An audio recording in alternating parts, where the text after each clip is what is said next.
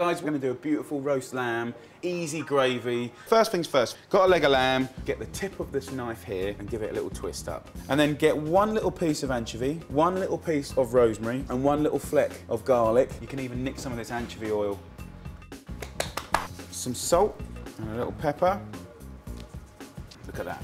Put your roasted meat on top of the rack now. What we can do is we can prepare for the most incredible gravy. Get two or three onions, slice them up, all the leftover bits of garlic, anchovy, rosemary, and all of the onions. I'm gonna put that straight into the tray, cook it for an hour, hour and a half.